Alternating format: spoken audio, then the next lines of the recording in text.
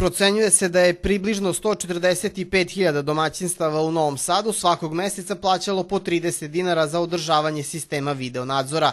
Sada kada je to praktično postalo dobrovoljno, ostaje da se vidi za koliko će se ovaj broj smanjiti. Sugrađani sa kojima smo razgovarali različito gledaju na novonastalu situaciju, ali čini se da preovladava mišljenje da je videonadzor koristan i to pre svega zbog bezbednosti, a da izdvajanje od 30 dinara i nije tako veliko. Mislim da je korisna stvar, tako da podržat će da samo da se iskoristi u svrhe koje treba da se koristi. Pa plaćao sam do sada, u budući pa verovatno neću. Mislim da ima već nadzora dovoljno, da smo dovoljno uplatili da to sve uradi.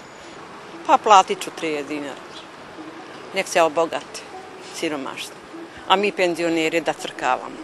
Moguće ćemo plaćati, ali vidjet ćemo. Nisam plaćao, niti bi to nikad radio, jer ovde se mora žito proizvoditi, a ne ove koje, koje štarije.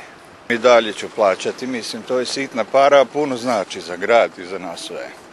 U informatici kažu da ako ne želi ne mora da plaća, ali da je potrebno pisati izjavu i predati na šalteru ovog preduzeća. Međutim, novac koji je do sada naplaćen gotovo sigurno neće biti refundiran jer je već utrošen za održavanje sistema, a sve je rađeno u skladu sa tada važećim odlukama Gradskog veća i Skupštine grada. Podsjećamo da je još decembra 2009. donešena odluka o uvođenju sistema videonadzora, dok je već u januaru 2010. odlučeno da cena održavanja bude 30 dinara. Kako je odlukom iz 2009. rešeno za čega se to koristi, e, sve ono što jesu poslovi održavanja, taj novac je za to i utrošen i trošen, prema tome e, ne postoji e, ni osnov da, to je dakle po odluci rađen, ne postoji odnos da, osnov da se to refundira.